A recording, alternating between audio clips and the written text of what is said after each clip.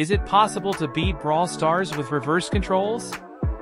I wanted to find out so I switched to reverse controls and hopped into the challenge. The first map was Gem Grab and I chose Grom.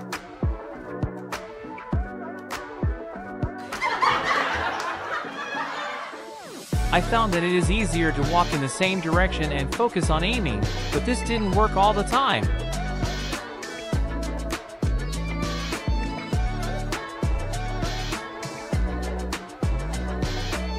We ended up winning the first two games in Gem Grab without any problems.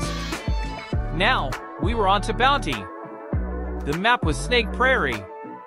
I am a Surge main so I had to use Speed Gear Surge here.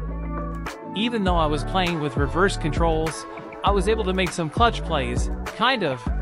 Sometimes muscle memory kicked in and I forgot how to move.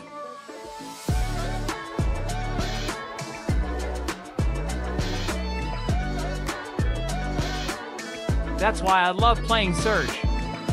Even with reverse controls, he is still the best.